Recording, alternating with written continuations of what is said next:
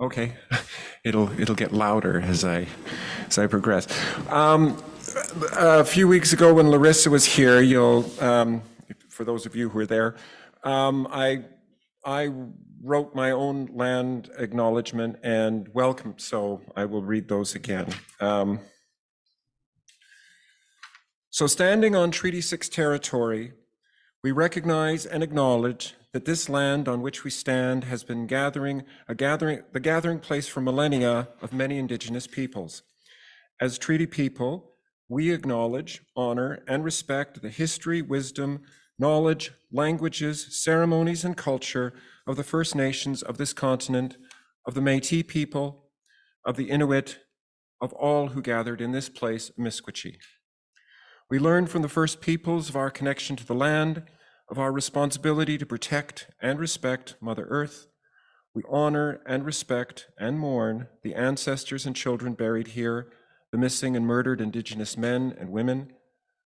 We acknowledge our need for collective healing. We remember that we are all treaty people and that we are all responsible for each other. Westwood is a welcoming space where we strive to embrace who and what we are regardless of belief or how ourselves we currently conceive. Westwood is a challenging place where we individually and collectively trace a path that struggles to find truth. Westwood welcomes our elders, middles, muddles, and youths, and a rainbow of peoples and beliefs theists, non theists, atheists, paganists, agnostics, Gnostics, cynics, and eccentrics Westwood welcomes people regardless of race, color, class, creed, or breed, gender, ethnicity, unicity, or elasticity. Westwood welcomes how you conceive your growing identity on the continuum of discovery. Whichever pronouns you choose to use today or tomorrow, or the direction of your affections, or your color in the rainbow. And with that, we're going to, the first hymn that we're going to sing. And we always say, stand if you're willing and able. And I always, you know, have you ever wondered why they always say to stand? It's because the people who put these songbooks together, they don't write, they don't ever pitch the song in the key of seat. they always make you have to hit a little bit higher. And the only way to hit it is if you're bloody standing. So Stand if you are willing and able.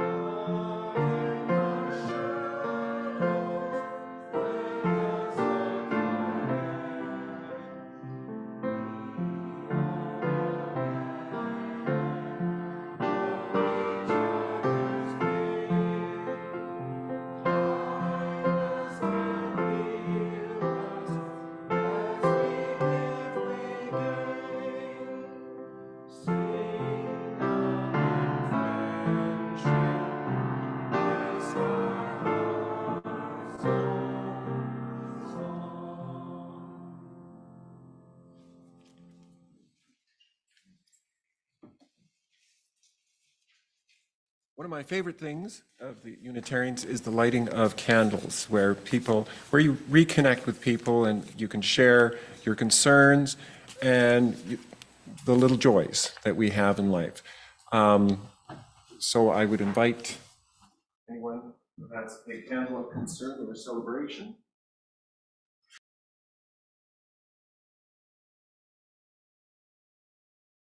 I'll, I'll, this is a candle of celebration. Actually, it's a bit of a, a preamble to the introduction for Emily. A number of years ago, I was on a hiring committee and we hired Emily, and she's been an awesome hire and uh, in, in every way. And uh, so this is a candle of celebration that uh, we get to, you get to experience Emily, whom I will describe later as a force of nature. Um, any, any others? Then I would like one more for all of those unspoken celebrations and, and concerns.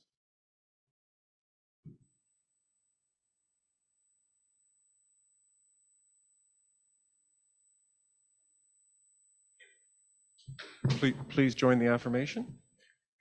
May the light of these candles inspire us to use our power to heal but not to harm, to help and not to hinder, to serve the spirit and truth, in loving affection and trusting hope.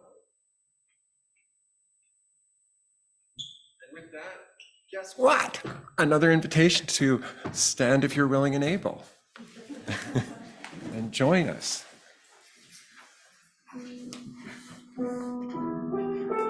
For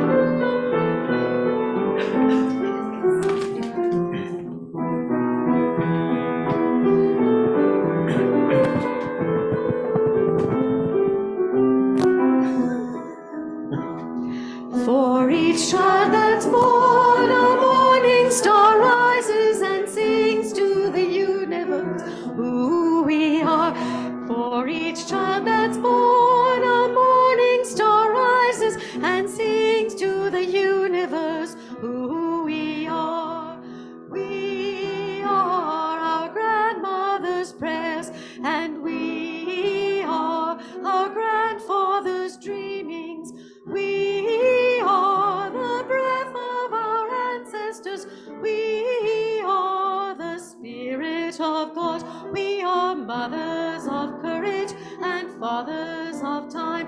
We are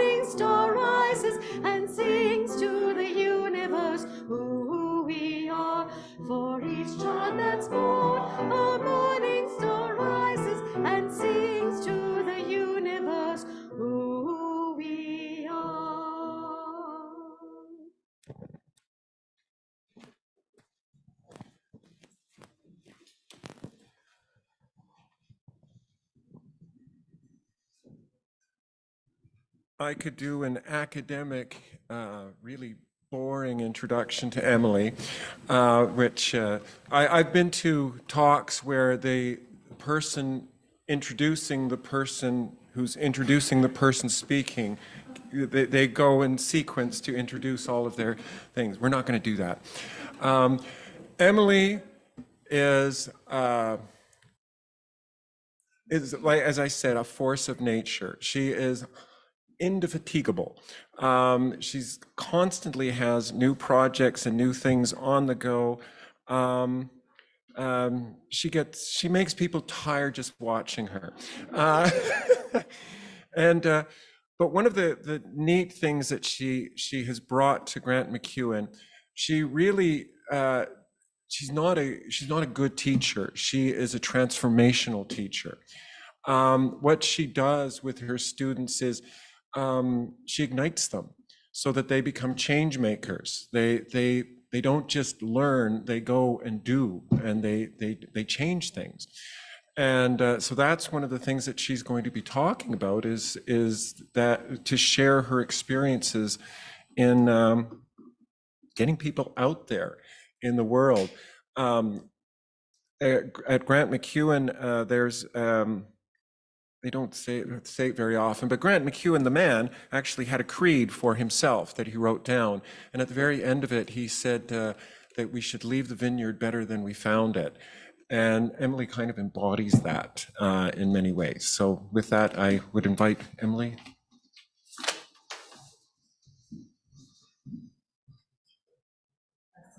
Yes, you need to be in front of the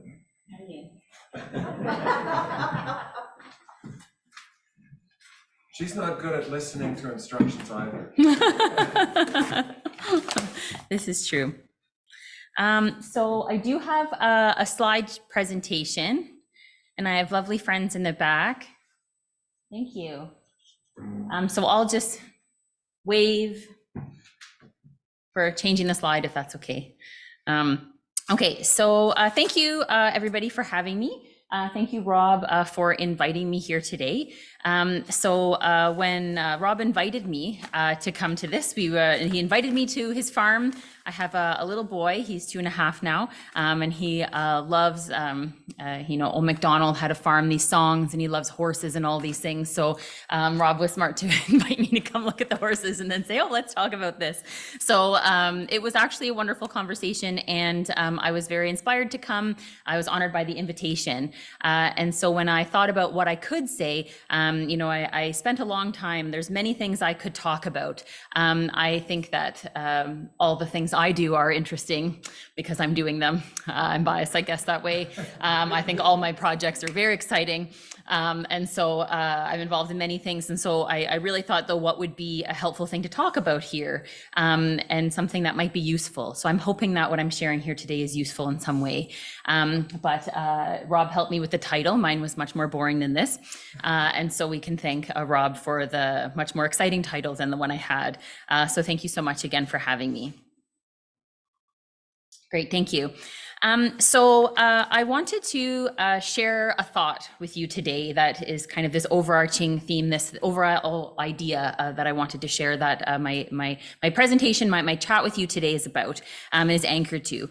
And so uh, I work with an elder very closely. She's an amazing, wonderful woman, and she says uh, really amazing things to me often.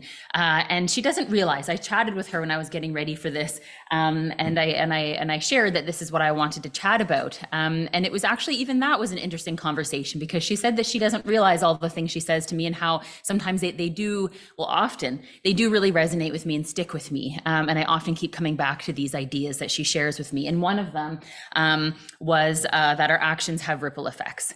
Um, and we work on projects, we sit together on many things. Um, I find that uh, I do better when someone's telling me what to do all the time. And so uh, it's easier for me to follow along. I find that that's uh, really helpful for me to have that guidance and support with the projects we do together. Um, and so actions uh, have a rippling effect. Uh, that was something that really resonated with me um, and something I've spent a lot of time thinking about. Um, and so I thought that, again that that would be something I would share today as kind of this overarching idea uh, to frame uh, my, my conversation today with you because sometimes we see our actions as happening in a vacuum um, and only involving us uh, and our needs. And we get caught up in our own lives and our own world without uh, considering uh, how we are impacting others. Uh, I know sometimes I'm guilty of that too, um, thinking mostly about, or sometimes about the things that I'm doing without necessarily considering the broader impact of things. Um, and I would invite, uh, you know, I'm, I'm trying to do that more. Um, and I, again, wanted to share that because um, we consider that there's a ripple effect resulting from our actions, we may be more inclined um, to create spaces for reflection, to be thoughtful, um, act with purpose, and perhaps be more respectful and compassionate and more forward thinking. Um, and so, like a pebble dropped uh, into the water causing ripples, our individual words and actions do impact uh, those around us, who in turn uh, impact individuals uh, who come in contact with them, and so on.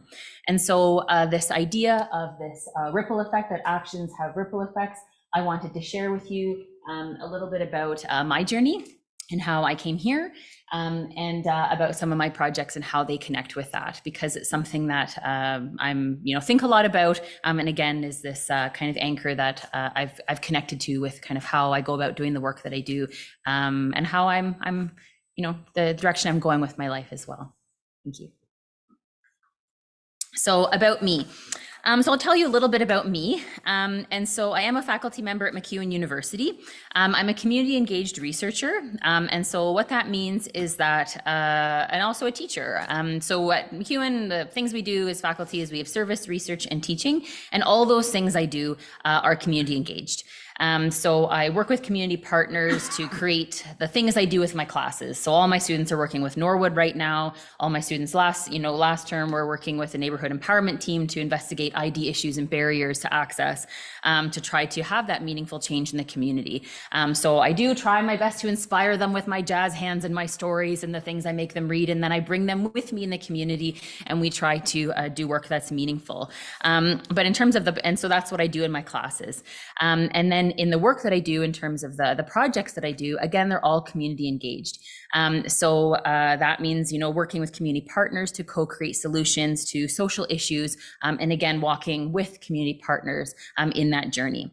And the work that I, I, do primarily is with schools and school divisions because I do fundamentally believe in the education system.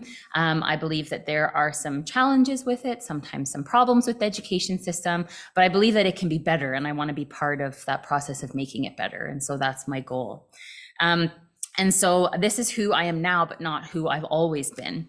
Um, and so I thought that giving a bit of background about myself might uh, help kind of shape and, and uh, give some context for the projects I'll be chatting about.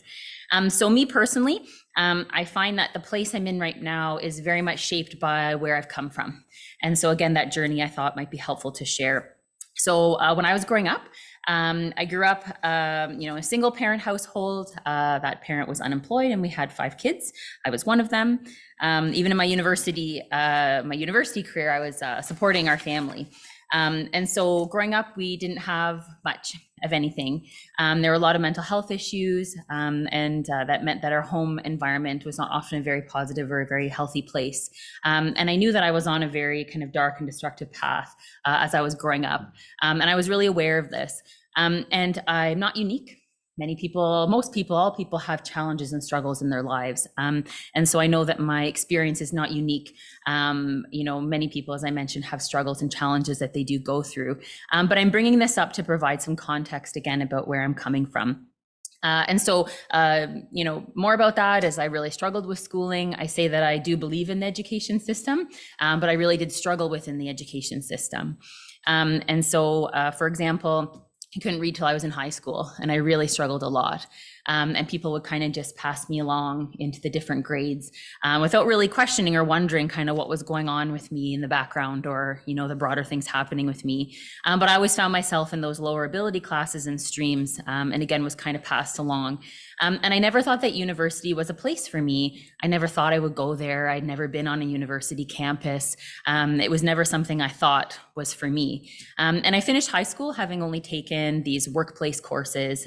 so you know know, in my day where I'm from, it was called uh, university, college, and workplace courses. Um, so I took those. Uh, and here in Alberta, it's like dash three, dash four, the K and E stream. Um, so those paths of courses that don't lead to university, those are the ones that I was in.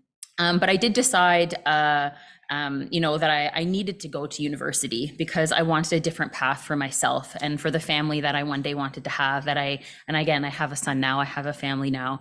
Um, and so uh, I wanted to go to university. For some reason, I didn't know anything about university, I'd never been there, but I had my thought in my head that that's if I wanted to be successful, that's where I had to be. Um, so I, I finished high school uh, without the option of going to university. So I spent many years upgrading, trying to figure out my path of how to get there. Um, and eventually I did find myself at university and I was enrolled in my undergraduate studies. The same students that I work with now, I see myself in them. And that's why I do take the approach to my students that I do. Um, and so when I was in my undergrad, I felt very lost and I was confused. I was felt like I was fumbling around without direction or purpose.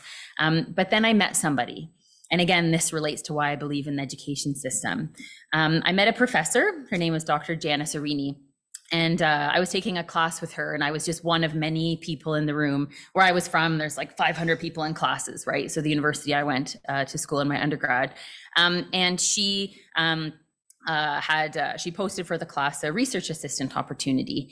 Um, and so for some reason she picked me but uh, i always thought that but i realized i was the only one who applied and that's why she picked me. Um, so thank you. Uh, so i appreciate that. I'm glad no one else applied for that but i did. Um, and that's why she picked me. So i appreciate that um, and so uh, during my time working with her, um, so she did. She she picked me, right? Because I was the only one, but she picked me.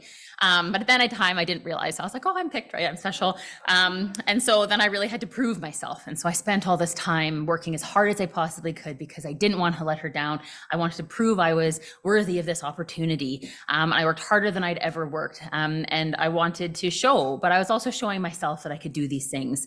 Um, and so she took me under her wing. Uh, but most importantly, um, I found in our journey working together because I kept pushing myself and I kept taking on things and I kept working harder than I'd ever worked before um, and doing things I never thought I would do. Um, but most importantly, in our journey of working together, um, she believed in me.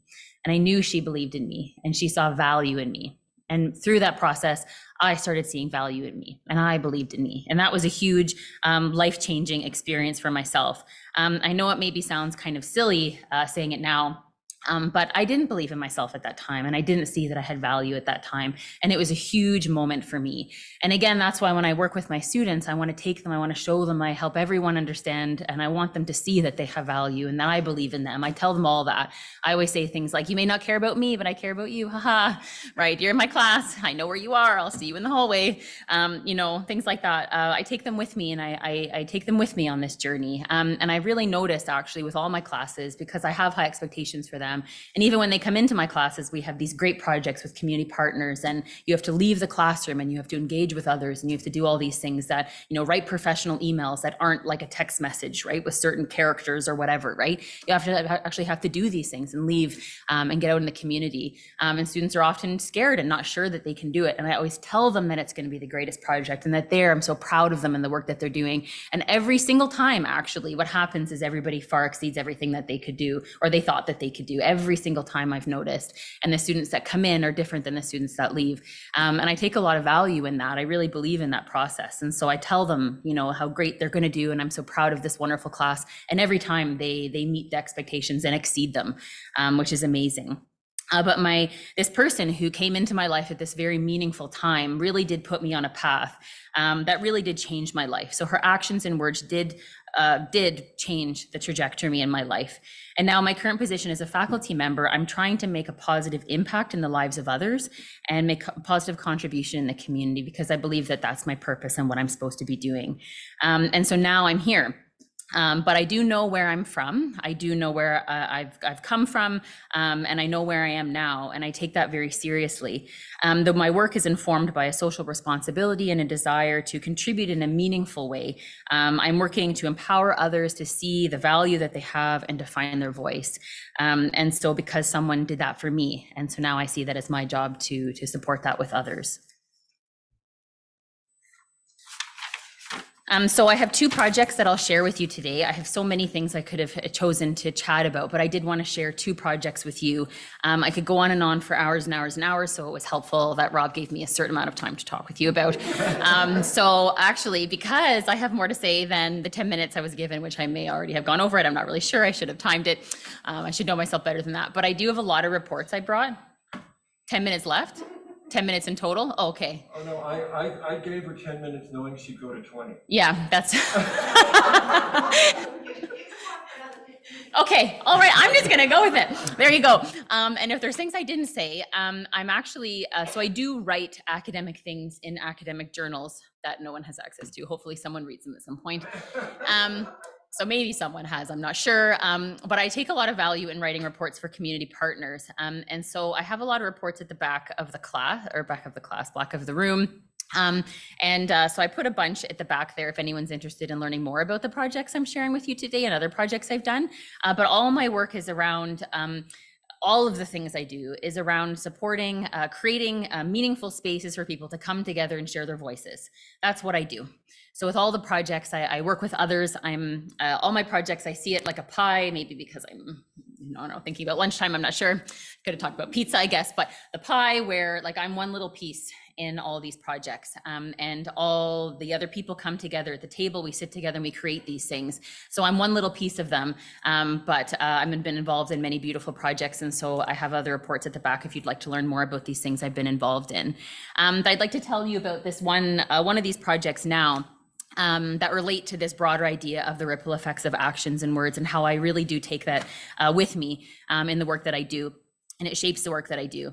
Um, so talking about uh, how this connects to my work, I'll again talk about uh, this first project, uh, this photo voice project. Um, and so I wanted to give a little bit of background. Um, so how I got involved in this project, and again, giving some context of the other work I've been involved in. But I moved here in 2016. I didn't know one person in the whole province. I didn't know anybody, um, which was actually really helpful because I didn't have someone to go to or to lean on. I just did what I felt in my heart was the right thing to do. Um, and so I wanted to do my projects that were embedded in, um, you know, in the community. And so I just started volunteering. So um, I had the benefit of my service broadly defined, I decided um, that I was just going to spend my time in the community listening and learning and building those relationships. And so I volunteered for so many hours, um, thousands of hours, just working in schools, making connections, just being a friend, cooking, cleaning. I've done childcare, all these things, scrubbing those lasagna pans. Schools love serving lasagna, um, you know, all these things. So I did that uh, for a really long time um, just to understand, to situate myself, to immerse myself, to just kind of get a sense of what was happening um, and how I could contribute in a meaningful way um, versus coming in with these ideas already. I wanted that to come from the work I was doing. So over time, I built authentic relationships. Um, again, just listening and learning and spending time. Uh, so I listened and worked with elders and uh, with school staff members and knowledge keepers and just you know families with students. Just listening and learn, uh, listening and learning. And so my projects have emerged naturally from those relationships. So, for example, uh, learning about some of the needs and challenges that schools were having, that students, that families were having, um, and then being invited to collaborate and to be work in partnership on these projects um, that aim to address those challenges. So that's where my projects, all the projects I'm here, uh, all the projects I've done are based in that. Um, so related to this photo voice project, uh, I started, I think in 2017, um, just volunteering at the school, and I'd volunteer one day every week, um, just doing stuff, helping out, just building relationships. That was my goal. Um, was, and so I started making those connections. Um, but I ended up volunteering in a classroom um, where they were making lanyards. And so I was uh, just working in there, helping um, the best that I could, um, just really making connections with these kids. Um, and so there was one student in there who I could see, um, you know, was was kind of having a bit of a hard time and wasn't sitting with the other kids and wasn't chatting a lot. And and I could see in his face and how he was um, that he was having some challenges. And so I sat with him a lot, and we chatted and we talked. Um, we worked together, you know, over several weeks working on his lanyard and as we worked together, I would chat with him and we'd talk about things and what was going on with him. Um, and I encouraged him and I said that when we finished, that he could put this lanyard on and, you know, walk around the class, uh, the outside of the classroom um, with his lanyard on um, because I loved what he was creating and I was proud of the work that he was doing. Um, and one day he did finish this lanyard um, and he remembered what I had said weeks earlier and he put it on and he walked around the outside of the class and he had his, hel- his head held up high and he had his shoulders going back and forth like this strut that I hadn't seen. Um, and he was proud. Um, and I could tell with his big smile that he felt good about himself.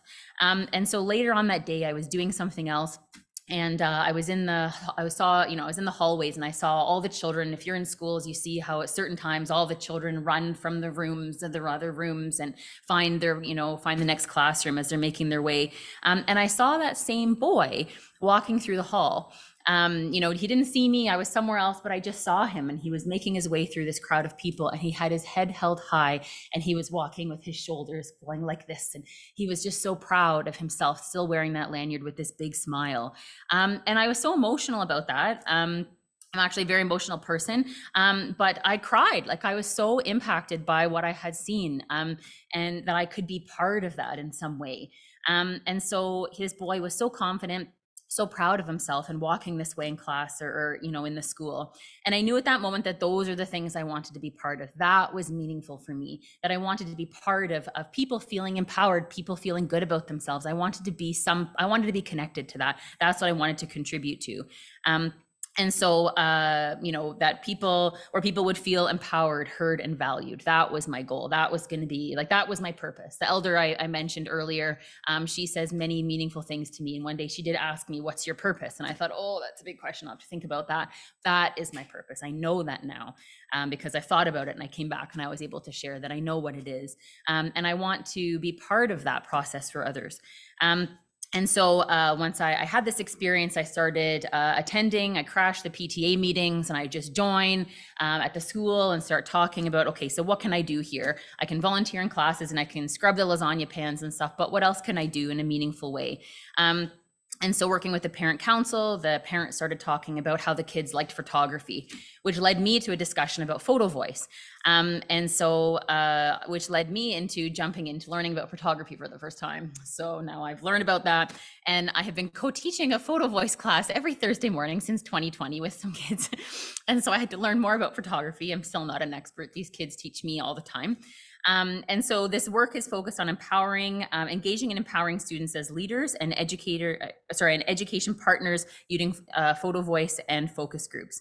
Um, and again, I have many reports in the back, but these are uh, three examples of these wonderful children that I work with.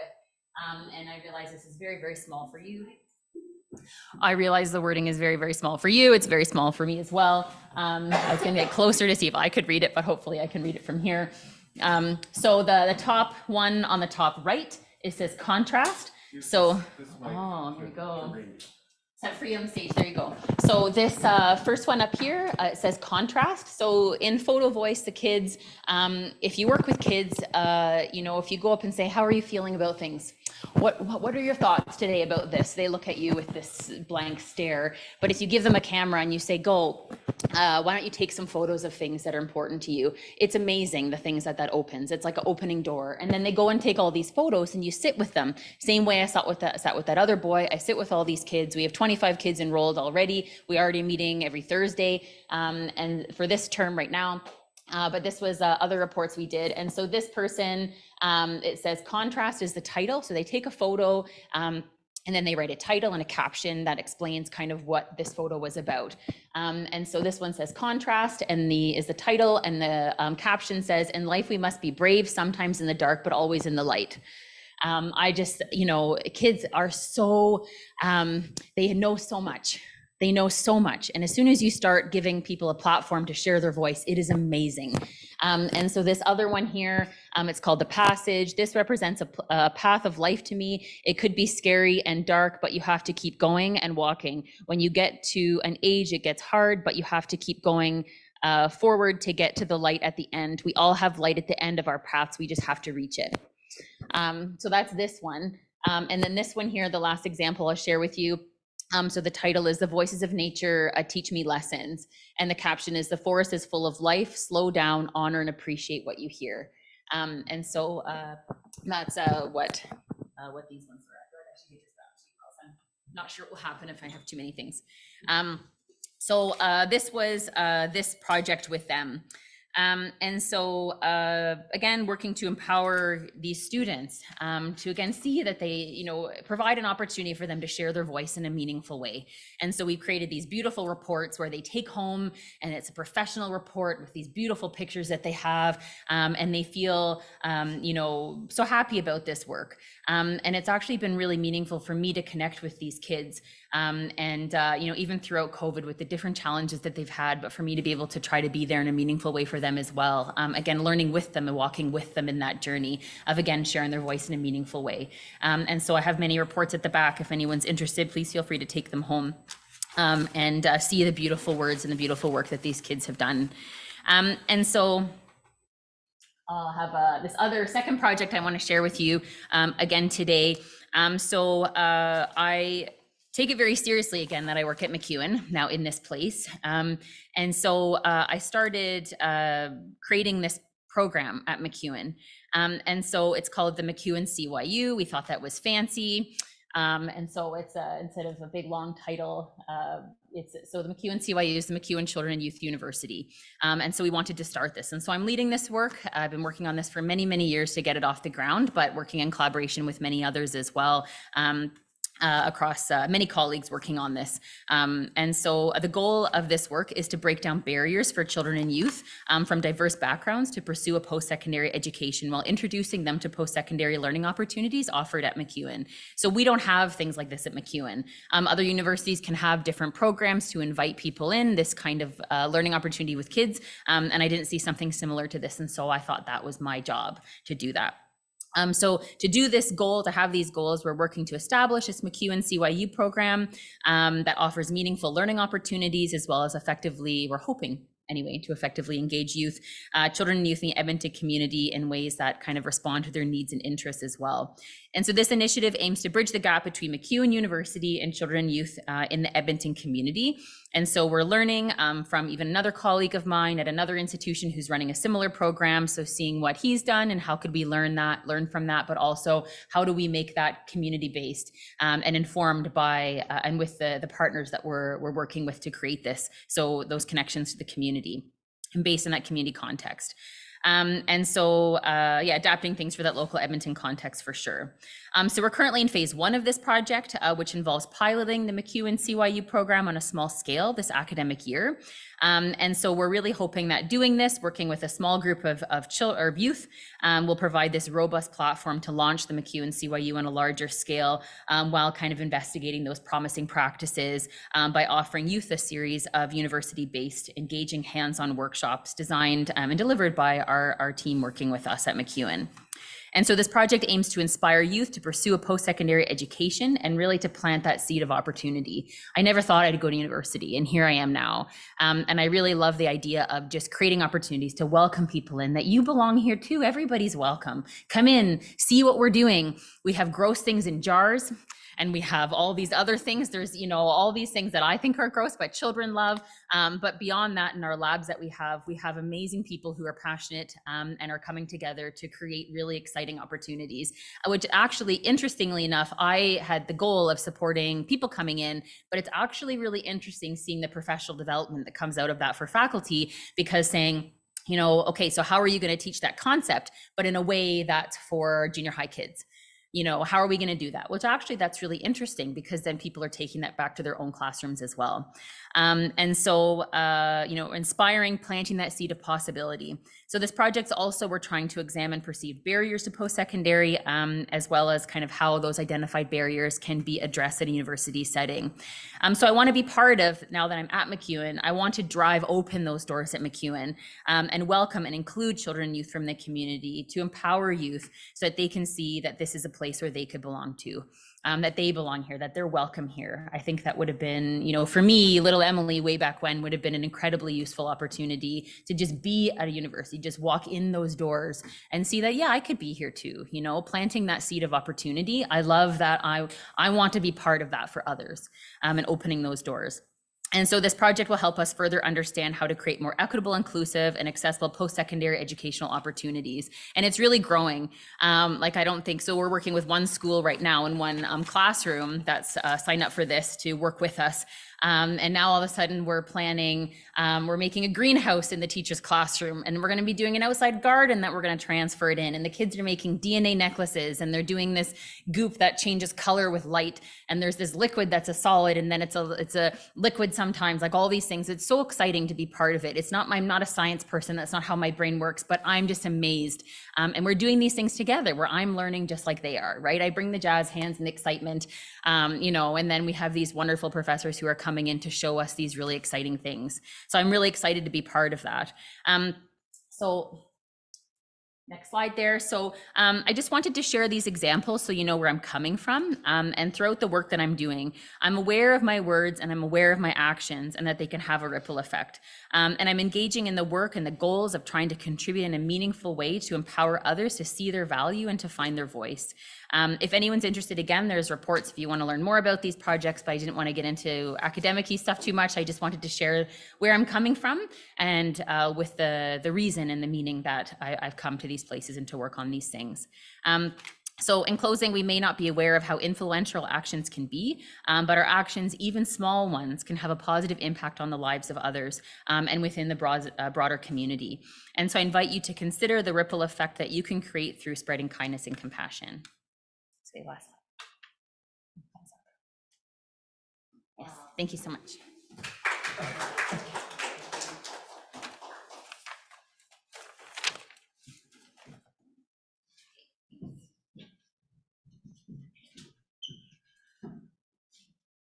Thank you.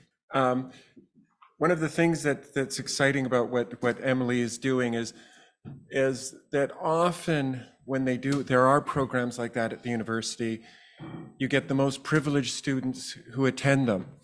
You know that, uh, uh, that they already have all the advantages and benefits, and they get invited because of the top marks and blah blah blah, the top schools and so on. And Emily's not doing that. She's bringing the kids who don't feel they they're they're blown away yeah and and that that you see their eyes like and and it is exciting to see a kid at on campus thinking that i could be here and seeing themselves in that context. And and you really do see that. It's not about recruitment it's about transformation. That's what's really exciting. Okay so with that it's also Black History Month, and uh,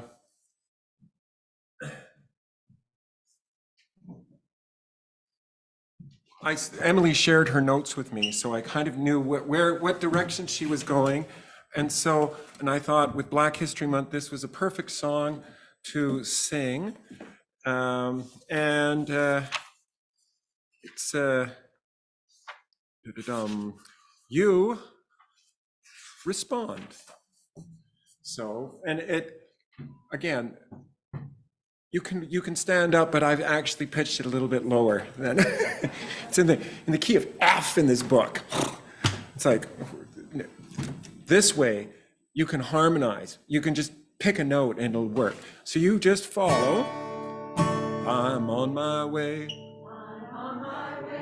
To freedom land, to freedom land. I'm on my way to freedom land. I'm on my way to freedom land. And then we all sing together. I'm on my way, great God, I'm on my way. I'm on my way, great God, I'm on my way. Now, you don't have to agree with me. If you, if when I say sister, you can say brother. And when I say brother, you can say sister, and then we can get four verses for the price of two. I asked my sister to come with me. I asked my sister to come with me. I asked my sister to come with me. I'm on my way, great God, I'm on my way. I asked my brother to come with me. I asked my brother to come with me. I asked my brother to come with me. I'm on my way, God, I'm on my way. If they say no, I'll go anyhow. If they say no, I'll go anyhow. If they say no,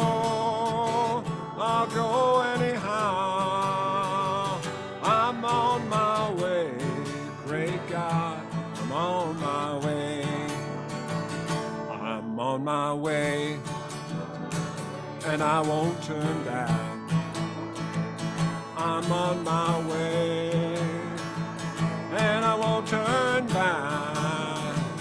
I'm on my way, and I won't turn back. I'm on my way, great God, I'm on my way. Let's do that first verse again. I'm on my way to freedom land, to freedom land. I'm on my way to freedom land. I'm on my way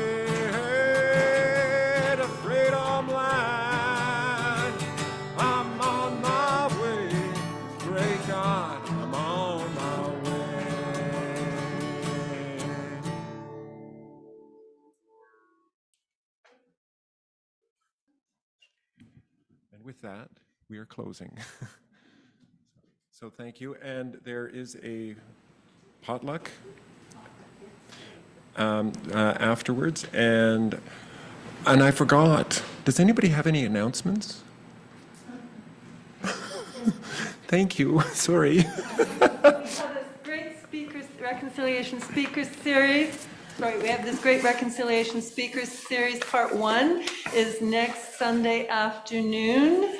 If you go to the website, there's lots of information on the calendar, and there's also a banner in the scrolling part in the banner that you can just click through. It's free, but we would like you to reserve your spot. We hope to have um, people here to greet our speakers, but you can also join us online via Zoom. And so uh, have a look at it. I believe there are posters around the building as well, so we hope to see you there. Hmm? Dylan Reed, thank you. Dylan Reed is our first speaker, who is a local filmmaker and has done a lot of work, uh, research into the biosphere, the Beaver Hills Biosphere. He's done a lot of video work for them, and he has been doing a historical, uh, video historical uh, remapping of Edmonton.